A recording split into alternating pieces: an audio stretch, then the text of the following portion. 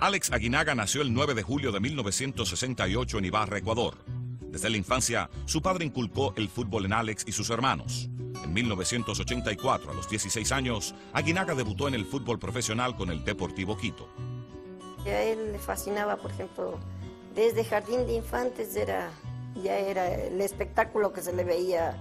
Dios siempre estuvo ahí conmigo, la Virgencita que yo siempre la, la llevaba en cada una de mis canilleras para que me protegiera, estuvo ahí para velar, para guiarme, para darme fortaleza cuando flaqueaba y a la larga se convirtió en una carrera bonita, pero esos inicios fueron lindos. Creo que marcó una historia desde el inicio, desde joven, sabíamos que iba a ser el emblema, la figura y un embajador del futbolista ecuatoriano.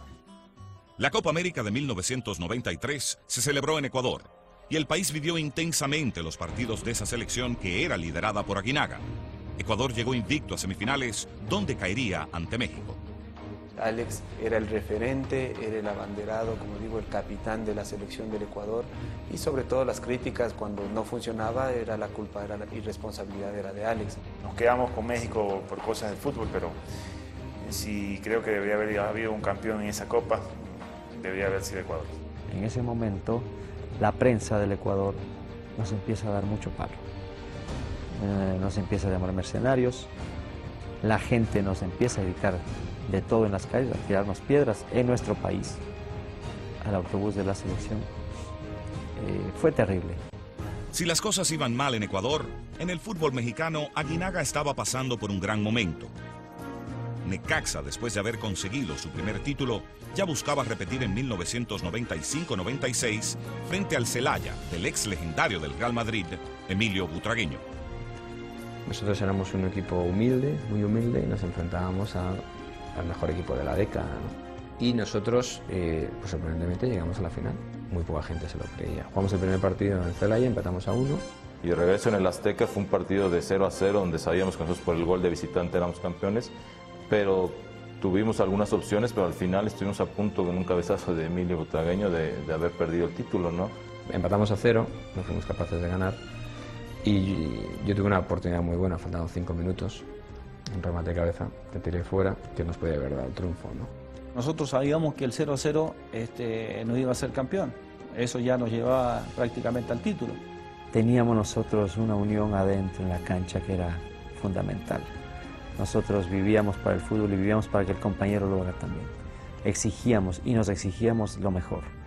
Este campeonato ganado por Necaxa sería el último en el formato de torneos largos en México.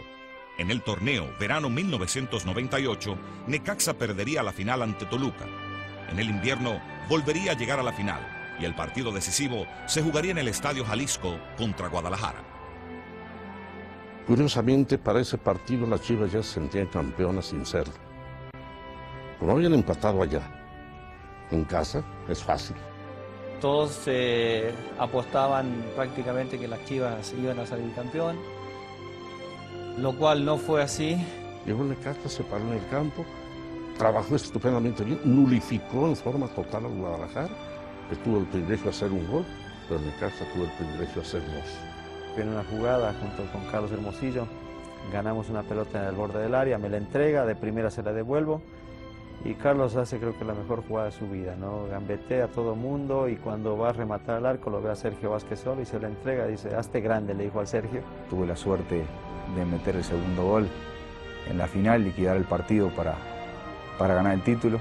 Fue lindo festejar en el Jalisco, ante una afición totalmente rojiblanca, que no era la nuestra, aunque nosotros somos rojiblancos, pero totalmente chivo. Me acuerdo que cuando dimos la vuelta olímpica estaba casi vacío el estadio. El tercer campeonato sería el último para Guinaga en Necaxa. El próximo desafío era clasificar a Ecuador a un mundial.